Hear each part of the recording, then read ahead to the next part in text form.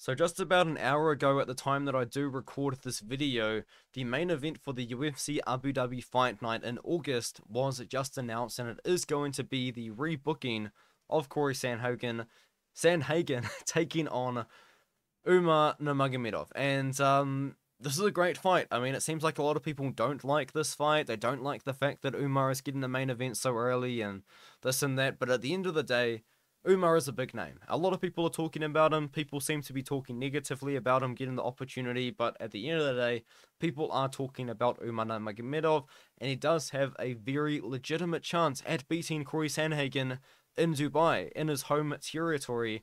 And Cory Sandhagen's a top guy. Cory Sandhagen is ranked number two in the division right now, and I feel like the reason why Cory has accepted this matchup is because the UFC has told him if you beat Umar Nurmagomedov, you're gonna get the title shot. And honestly, I think Umar Nurmagomedov is probably gonna lose to Cory Sandhagen. Then I was going to pick Cory Sandhagen to defeat him when they were originally meant to fight against each other in that event in August of last year. And now I guess a year later, we are now going to be getting the matchup. He of course fought Rob Font, but I do think he injured himself either during the fight or just after the fight. And now the matchup is going to be booked for one year later after Umar Nurmagomedov, of course, has gone on to find a lot of his own success in the UFC, where, of course, he did knock out Raoni Barcelos prior to the Sandhagen booking, and then he did beat Bekzat Almakhan, which is a pretty random fight that just kind of comes together. And Bekzat Almakhan, as I did say in that fight, going in, Almakhan's a really good striker, and it actually looks like they might have eliminated a lot of his wins Modified rules. That's the problem. These Jepejek fights, they're very similar to MMA, but they're not. So unfortunately for him, even though it was Bekzat Almakhan who was 17 and 1 at one point, it's now been reduced to 11 and 1 because of these Jepejek fights, which just aren't quite the same as MMA. A little bit of a side tangent in the first two minutes of the video, but that's just kind of what happens, I guess, sometimes. Cory Sandhagen, I do think he can beat Umar. I genuinely do. Umar's dangerous and he's very, very good, of course. I mean, I feel like Umar's best trait, although I did actually previously say, and there probably is a lot of videos of me saying this, I thought that Umar's striking was better than his wrestling. I don't think that anymore. I genuinely do believe that Umar's wrestling is better than his striking, but at one point, it was really looking like we are looking at Umar Nurmagomedov as Khabib with much, much better striking. And honestly, that's what he was for a long period of time, but I feel like now just over time, we're kind of looking at Umar and we're thinking, hey, this guy's really good, but maybe his striking isn't as good as what I personally thought it was.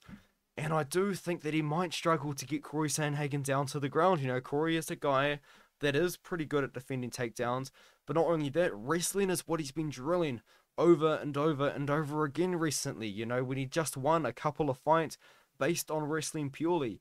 He beat Marlon Vera with his wrestling. Why is it a split decision? You're going to have to talk to one of the judges on that one. But he beat Marlon Vera by taking him down and controlling him. He beat Rob Font by doing the exact same thing. Cory Sandhagen has, in a way, been preparing for this fight for, for years now, you know, because he was a guy that had very, very wicked striking and a very good grappling ability to get submissions, but that wrestling just wasn't quite there.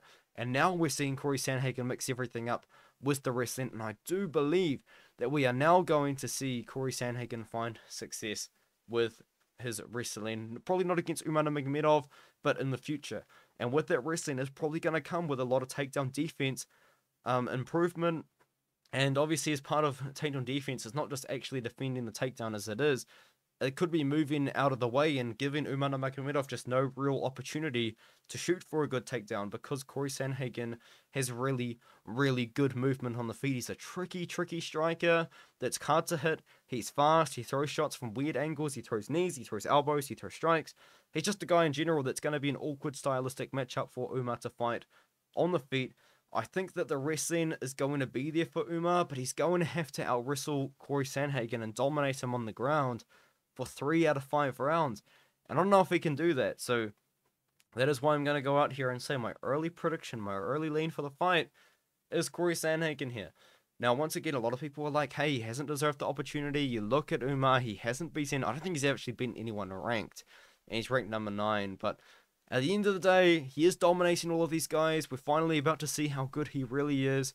He very likely probably will step up to the plate might even beat Cory Sandhagen, but I am just going to go out there and say I do believe Sandhagen's going to show that experience. I think he's going to show his weird movement on the feet. I think he's going to show good takedown defense, improved takedown defense. I think he's going to be able to outstrike Umar. I think there's very little doubt in my mind that Sandhagen's the better striker. The wrestling, of course, goes to Umar. The grappling goes to Umar as well. But I do think that Sandhagen can make things awkward on the feet, maybe even awkward on the ground. Let me know what you think in the comments below.